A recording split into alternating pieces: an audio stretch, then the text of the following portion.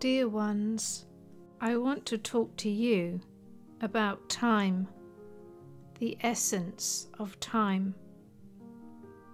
What does time achieve?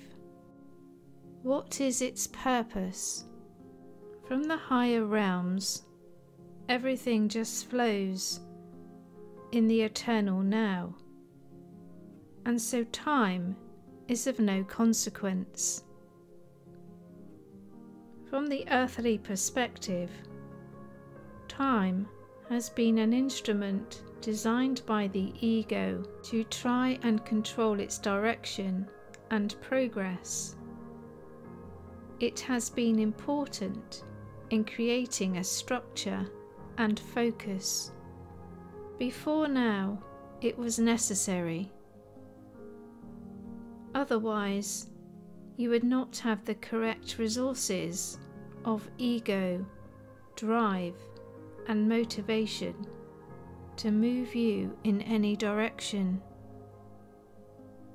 As the energies become finer, you will now find yourself increasingly feeling that time is pulling you to do things that you don't want to do you will feel more and more like you just want to be daydreaming, sitting in the silence, listening to the nature, creating, singing, bathing.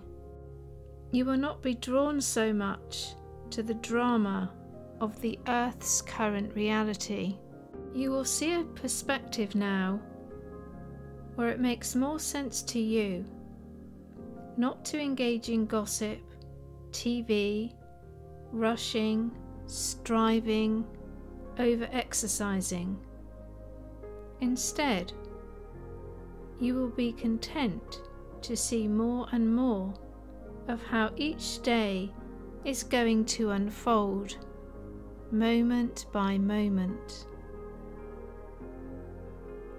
Without the constant need to control outcomes or engage in dramas, you will step into alignment with the natural universal flow, the flow of God, the breath of God. In releasing attachments, you will always be on time. You will always complete your project you will be more peaceful, relaxed, and you will sense more and more the moments of God's touch, bliss. God's touch is the feeling of bliss. This is the moment when there is an overwhelming sense of peace within and without,